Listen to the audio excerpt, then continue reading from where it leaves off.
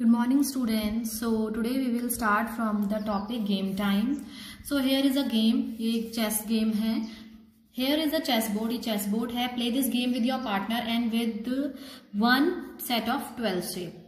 So so, देखो yesterday हमने जो शेप्स के बारे में पढ़ा था कि ये शेप्स कैसे शेप्स हैं जो फाइव स्क्वायर का यूज़ करते हुए हमने ड्रॉ किए थे ये सारे वो ट्वेल्व शेप्स हैं।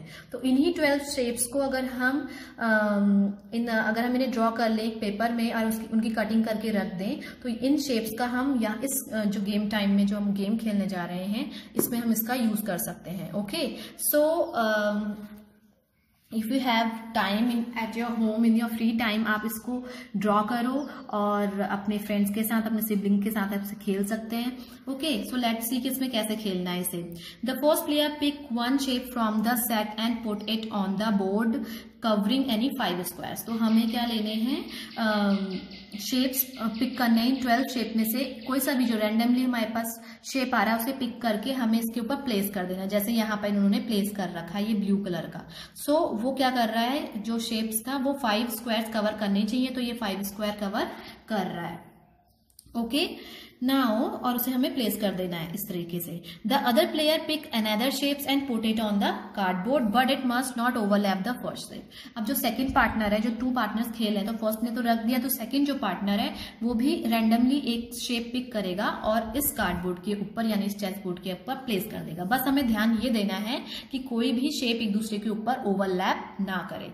Okay students So keep taking uh, keep taking turns until one you can't go uh, any further and whosoever whoever put the last piece wins तो इस तरीके से हम इस गेम को आगे कंटिन्यू करते रहना है। लास्ट में जो लास्ट पीस जो शेप की जो स्क्वायर शेप्स की जो ये शेप्स हैं इसका जो लास्ट पीस पुट करेगा वो इसका क्या होगा? विनर होगा। Okay so you try this at your home Now the next topic is make your own tile. Remember the floor pattern in Maths Magic book 4. It means I think it is saying that in class 4 page number 117 to 119. Okay.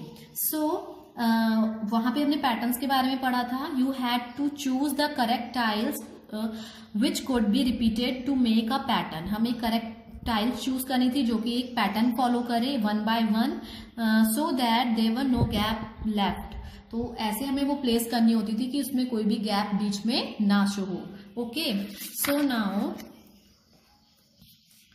Ziri went to a shop and was surprised to see the different designs of the tiles on the floor. Aren't these beautiful? So Ziri एक shop में गई वहाँ वो जो different type के जो भी patterns थे जो फ्लोर में पैटर्न्स थे टाइल्स के उनको देख के वो बहुत हैरान हुई so she saying that are this beautiful क्या ये ब्यूटीफुल नहीं है so can you can you find the tiles which repeat to make each of this floor pattern so कह रहा है कि can you find the tile आप tile find कर सकते हो। देखो यहाँ पे शेप्स पैटर्न दे रखे हैं। ये भी पैटर्न ये भी पैटर्न ये भी पैटर्न तो इस टाइप के, ये पैटर्न दे रखे हैं आपको, ठीक है? तो वो एक के बाद एक, क्योंकि टाइल से बने हुए हैं तो टाइल्स को इकट्ठे साथ में लगाया हुआ है तो ये पूरा एक पैटर्न जैसा शो हो रहा है। Which is repeated to make each of this floor pattern जिनको रिपीट करके बनाया गया कि पूरा एक फ्लोर पैटर्न शो करे circle are tile in each pattern like this इसमें हमारा ये जो हमारी जो टाइल है वो किसी भी शेप की हो सकती है। ठीक है ये पैटर्न फॉर्म कर रही है। इस वाले में ऐसे पैटर्न फॉर्म कर रही है। ओके सो so, यहाँ पर देखो after looking at the pattern Jerry wanted to make her own yellow tile अब इन सब पैटर्न्स को देखकर Ziri Ziri what Ziri want to make her own tile उसको अपना ओन टाइल बनाना चाहती है। You you to make a tile this way इस तरीके से आप भी अपना टाइल बना सकते हैं। Step one here are some steps take a piece of cardboard और अ थिक पेपर आपको कार्डबोर्ड या थोड़ा सा जो हार्ड पेपर होता है उसे लेना है। ड्रॉ अ स्क्वायर उसमें एक स्क्वायर ड्रॉ करना है। कितनी साइड होनी चाहिए उसकी? थ्री सेंटीमीटर होने। थ्री सेंटीमीटर की उसकी साइड होनी चाहिए। Draw a triangle on any of the side of this square अब जो स्क्वायर पेपर में आपने थ्री सेंटीमीटर का स्क्वायर ड्रॉ करा है, उसके साइड में आप क्या कर लो? एक ड्रॉ कर लो क्या? ट्राइंगल ड्रॉ कर लो okay draw now third step में draw another triangle of the same sides on another size of the square अब हमें, ये तो हमने आउटर साइड वो कार्डबोर्ड में जो हमने स्क्वायर ड्रॉ करा था, उसके आउटर साइड में ये ट्राइंगल ड्रॉ किया था। नाउ हमें अब ट्राइंगल ड्रॉ करना है उसके इनर साइड में। But this time draw inside the देखो इनर साइड में हमें ड्रॉ करना है। After cut this shape from the cardboard now इस शेप इस शेप को जो इनर साइड में हमने ट्राइंगल ड्रॉ किया था, इसको हमने सीजर से क्या कर देना है? कट कर लेना है, उस कार्डबोर्ड से हटा देना है। So your tile is ready now अब आपकी जो टाइल है, वो कुछ इस शेप की रेडी होगी। So what is its area तो उसका एरिया कितना होगा? देखो, यहाँ पे ये देखो हमने जो रेक्टेंग सॉरी ये जो ट्राइंगल हमने इससे कट किया है सो so, यही ट्राइंगल एक्स्ट्रा दोनों इक्वल ही है यही ट्राइंगल क्या है? बाहर भी है। इट मीन्स कि जो हमारे पास स्क्वायर था उसकी साइड कितनी थी? थ्री सेंटीमीटर साइड थी ओके सो so, अगर हमें इस स्क्वायर का फॉर्मूला एरिया फाइंड आउट करना है तो इसका अभी भी एरिया सेम है। एरिया कैसे निकालते हैं? एरिया ऑफ़ स्क्वायर क्या होता है? एरिया ऑफ़ स्क्वायर हमने पढ़ा था side into side into side side into side तो साइड कितनी है? थ्री सेंटीमीटर तो थ्री इंटू थ्री कितना हो जाएगा? थ्री थ्री जा नाइन सेंटीमीटर स्क्वायर ओके तो साइड कितनी हो जाए? थ्री थ्री थ्री साइड थी तो three into three three three जा नाइन सेंटीमीटर स्क्वायर सो आप ये शेप आप सोच रहे कि ये इसका थ्री सेंटीमीटर कैसे निकाल दिया? जो हमने यहाँ से ट्राइंगल यहाँ से जो हमने रिमूव किया है, वही ट्राइंगल आप सोचो कि हमने यहाँ पे ऐड किया है। तो यहाँ पे का जो स्क्वायर का कोई पोर्शन गायब मतलब हमने यहाँ से हटाकर यहाँ लगा लिया है। तो उसका एरिया जो है, अभी भी उतने का उतना ही है। कुछ भी एरिया रिड्यूस नहीं हुआ है। दैट्स वाई उसका एरिया कितना है? Nine centimetre okay students now make a pattern using the tile इस टाइल जो हमने अभी पैटर्न बनाया येलो ये येलो शेप का येलो कलर का सॉरी सो so, उससे हमें एक पैटर्न फॉलो करना है पैटर्न बनाना है. Trace the shape to repeat it on a page हमें एक पेज में इसको ट्रेस करके इसको रिपीटेड रिपीटेडली करना है. But remember there must be no gap ऐसा इसको प्लेस करना है ऐसे ट्रेस करना है कि ये ओवरलैप भी ना करे और ना इसमें बीच में गैप हो। Okay Ziri made a pattern using the yellow tiles यहाँ पे उसने एक पैटर्न शो कर रखा है। Now how many tiles are the question how many tiles has she use कितने टाइल्स उसने यूज़ करे? सो so, यहाँ पर जो टाइल्स उसने यूज़ किए हैं आप इसे uh, आप इसे clearly when I will send you the pic इसे आराम से देखिएगा। सो so, आप जो ये येलो वाला जो ये येलो वाला टाइल है इसको आप ध्यान में रख इसको देखिएगा कि इसमें कितने सारे टाइल्स यूज़ किए तो जो मेन जो कंप्लीट टाइल्स हैं हम उन्हें काउंट करते हैं। अगर ये एक टाइल दिस वन है ना?